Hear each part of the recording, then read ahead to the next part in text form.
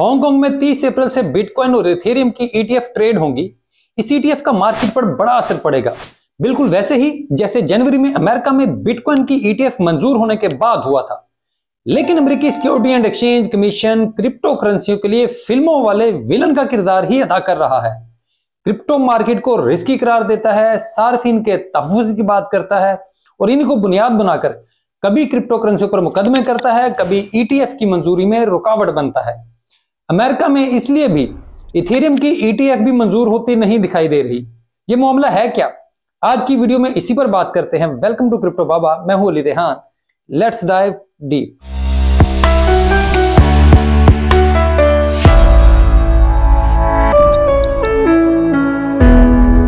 Hong Kong में bitcoin और Ethereum की स्पॉट ईटीएफ 30 अप्रैल से बाजाबता तौर पर ट्रेड होना शुरू हो जाएँगी।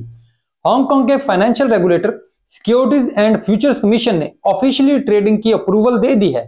पहला बैच जिसमें, जिस, पहला बैच जिसको ट्रेडिंग की अप्रूवल मिली है, उसमें चाइना एसेट मैनेजमेंट की, बिटकॉइन और इथेरियम की ईटीएफ भी शामिल है। इन एक्सचेंज ट्रेडेड फंड्स की मदद से रिटेल और इंस्टीट्यूशनल इन्वेस्टर्स को ज़्यादा महफूज और आसान तरीके से कानून के दायरे में रहते हुए इन डिजिटल एसेट्स में सरमायाकारी की सहूलत मुयसर होगी। हांगकांग में 30 अप्रैल से तीन बिटकॉइन और तीन इथेरियम की स्पॉट ईटीएफ लॉन्च हो रही हैं।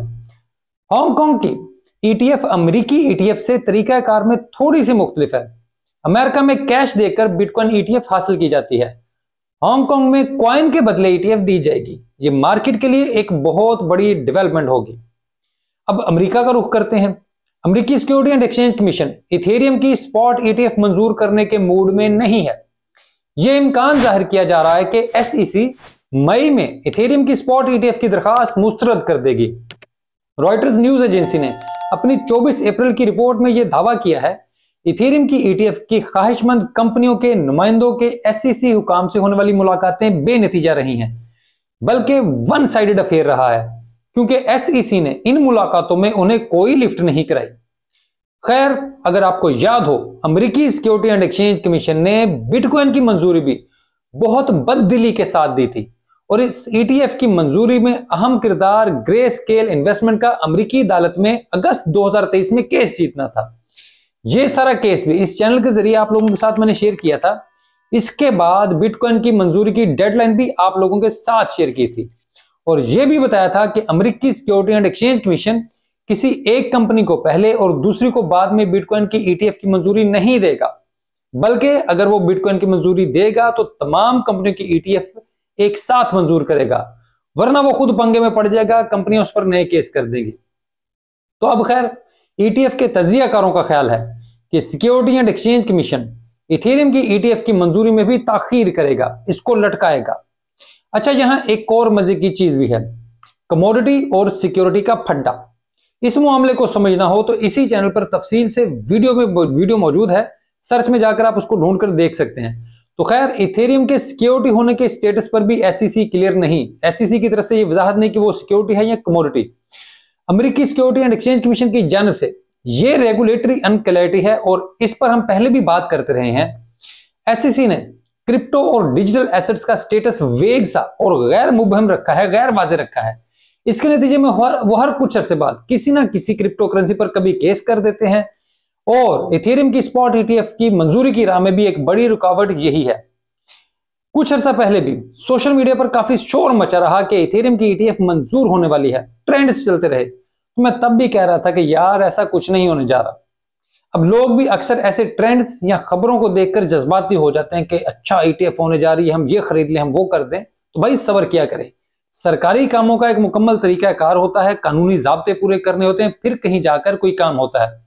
ऐसे में एसईसी इथेरियम e की ईटीएफ e अप्रूवल करेगा भी तो इससे पहले तमाम जबते पूरे करेगा और ये काम वक्त लेता है, इसलिए धीरज से काम लिया करे। वैसे यहाँ पर एक अहम खबर यह भी है कि कंसेंसस ने एसईसी e पर मुकदमा कर दिया है कि वो इथेरियम का स्टेटस क्लियर करे कि ये सिक्योरिटी है या कमोडिटी तो खैर, इस वक्त अमेरिकी सिक्योरिटी एंड एक्सचेंज कमीशन के सामने इथेरियम की स्पॉट ईटीएफ की मंजूरी के लिए कई दरखास्तें मौजूद हैं। एसईसी इन दरखास्तों पर 23 मई तक फैसला सुनाने का पाबंद है। ग्रे स्केल ने अपनी इथेरियम ट्रस्ट प्रोडक्ट को ईटीएफ में बदलने की दरखास्त कर रखी है।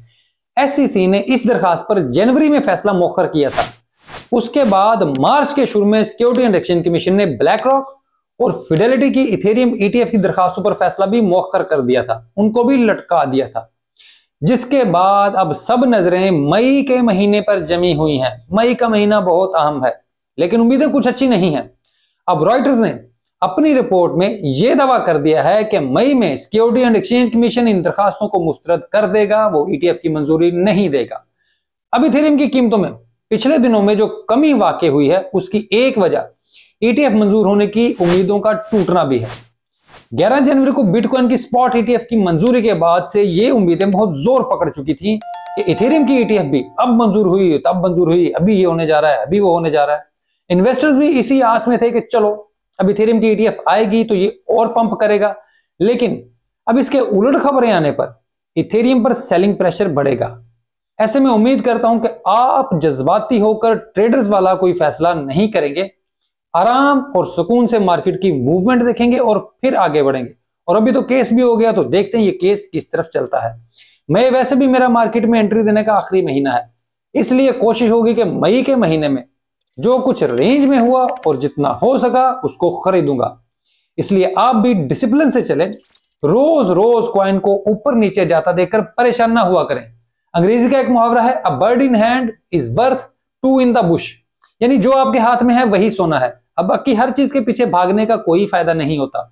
खुद पर यकीन रखें, अगर आपकी इन्वेस्टमेंट अच्छे प्रोजेक्ट्स में है तो सुकून से बैठे रहें। आपकी मेहनत का फल आपको ज़रूर मिलेगा। और यहाँ पर एक इंतहाई अहम दरखास्त।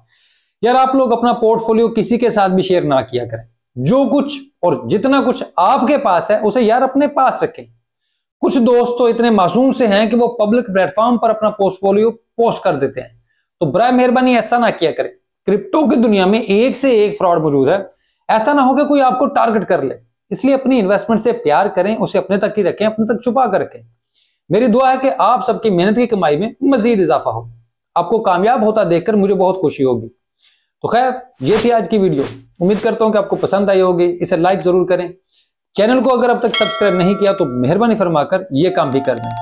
कमेंट में अपनी राय ज़रूर दिया करें। आपके कमेंट्स में देख रहा होता हूँ और उनकी बुनियाद पर आगे काम बेहतर कर रहा होता हूँ। अब मुझसे एक्स पर रहा कर सकते हैं। एक्स चल रहा हुआ तो ज़रूर जवाब दूँगा। इसके अलावा, अब मैं एरिना में भी मौजूद हूँ। एरिना का नया वर्जन आ चुका है, जिसमें बेशुमार अच्छे फीचर्स हैं। आप लोग जो एरिना में मौजूद है, वो नए वर्जन पर शिफ्ट हो जाए, वहाँ पर चले जाए। ये अब एरिना डॉट सोशल है। मैंने अपना पुराना रेफरल भी ट्विटर पर खत्म कर दिया है। अब आप में से जो लोग, नए लोग एरिना ज्वाइन करना चाहते हैं, वो अब नए रेफरल को इस्तेमाल कर सकते हैं, जो मैंने अपने ट्विटर की पिन पोस्ट में लगा दिया है। आप उस पर जाएँ, वहाँ पर क्लिक करें तो डायरेक्ट आपको अरीना की वेबसाइट पर ले जाएगा। वहाँ जाकर आप उसको अपने ट्विटर से लिंक कर सकते हैं। बाकी इस अरीना प्लेटफॉर्म में V2 यानी इसका जो नया वर्जन आया है, इसके साथ साथ और क्या तब्दीलियाँ होने जा रही हैं और क्या कुछ हो रहा है, इस पर भी मैं आपको उनका पूरा रोड मैप आपके साथ शेयर करूँगा, ताकि आपको अंदाज़ा हो कि ये कितनी बड़ी चीज़ है और यहाँ पर हो क्या रहा है। बाकी कभी आपके साथ इसके ऊपर आप लोग अक्सर कहते हैं कैरीना पर वीडियो बना दो तो वो भी बनाऊँगा, मजीद के उसको इस्तेमाल कैसे करना है? तो खैर, आज की वीडियो देखने के लिए आपका बहुत शुक्रिया।